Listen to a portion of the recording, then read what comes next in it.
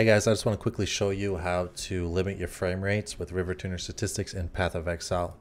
The reason you would want to do this is because when you map in, in Path of Exile and shit's exploding, especially with the new blight mechanic, your frames dip pretty hard, especially if you have uncapped frames. So right now I have VSync enabled in the game. As you can see here, my frame times is pretty jumpy still. My frame rate is jumpy. Oh, bless. And you can see this right here in RivaTuner statistics that the graph is also jumpy representing this. What you want to do first of all is disable VSync in Path of Exile. We're then going to want to open up MSI Afterburner, which I will provide a link to download. So you're just going to come to the official MSI page, scroll down, download it, install it. Make sure you also install RivaTuner statistics. Once you have it installed, you are then going to want to open up MSI Afterburner, which looks like this. You're gonna click the cogwheel. You're gonna make sure, I think this is on by default, just enable hardware control and monitoring. Make sure that's enabled. Then go to the monitoring tab. Uh, you're gonna look, yours is gonna look a bit different than mine. Uh, frame times down below, you could click and drag and push up to the top wherever you want or what you want to monitor. Just click it and drag it up top. Make sure you select the checkbox because if you don't have it selected, so I'll press apply, GPU usage now is disabled. Uh, just make sure show in on-screen display is enabled. Specifically with frame times, I like to have a graph versus a number. It's just easier to look at. You can play a little bit, check your left, and just you could see how much it dips. Better than just a number. Okay. Oh, and just uh, here on screen display, that's just hotkeys, and then if you want to show in videos and whatnot.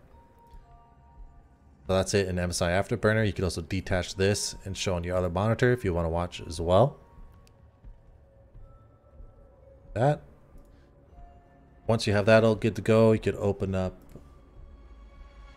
RivaTuner Statistics. The main thing you want to show is show on-screen display. This is going to be empty for you, so you're going to press the add button. You're going to find your Path of Exile.exe, you're going to select it, press open. And then it'll come up on this list. I've added multiple applications. You could shift click an application when it's open to make sure RivaTuner Statistics doesn't try to hook into it to show you the frame rate of that program. And the main thing you want is show own statistics. Have that enabled. You could choose where you want the on-screen display to show.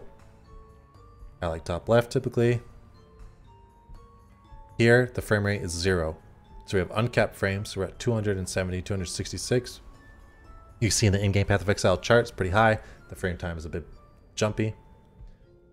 You, depending on what you like to do. So I have a G-Sync monitor.